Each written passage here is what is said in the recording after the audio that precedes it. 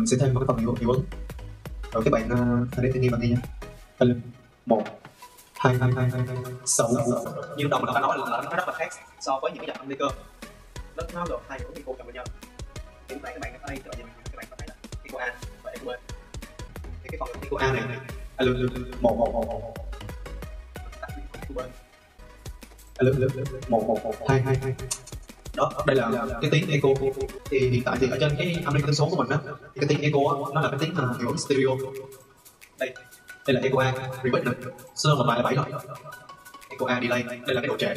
Một cái echo volume này cái là cái độ lớn nhỏ này. Hello, hello, hello, hello, hello. đó, khi mà tăng giảm thì các bạn có thể nghe được cái tiếng echo này. Hiện tại thì mà nó tắt cái echo b rồi.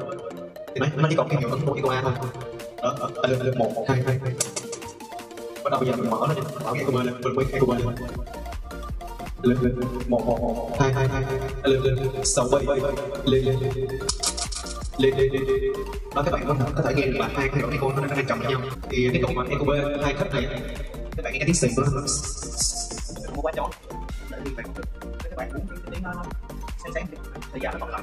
Tại vì đây là hai cấp hai cấp nghĩa là, là nó cắt nó sẽ cắt đi. Thì khi các bạn tăng lên thì nó càng cắt, cắt cao các bạn hạ xuống thì nó giảm lại. Lên sáu bảy lên một hai. Đó một cái trường đó là cột eco b l và r là left right nè.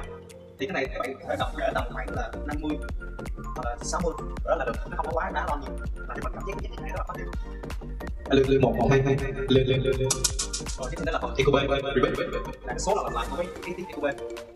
Hiện tại thì trên mặt nó là 80 bên thì lấy đồ trễ nó mới thời gian